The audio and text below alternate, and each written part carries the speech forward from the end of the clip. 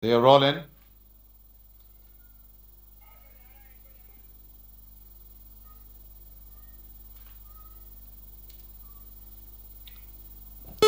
Orders and away they go for the Maharaja Sir Pratap Singh Gaekwad Trophy.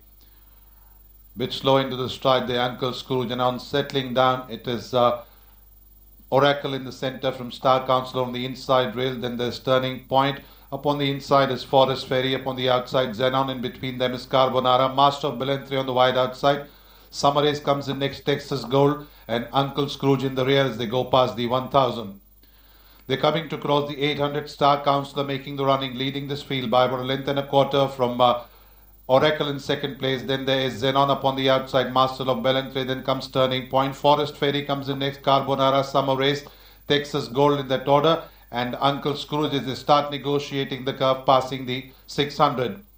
Star Councilor still calling the tune ahead by about two lengths now in front of uh, Oracle. Then in third place is Turning Point. On the inside rails is Forest Fairy. Upon the outside, Xenon. Then there's Summer Race, Master of Ballantrae, Carbonara.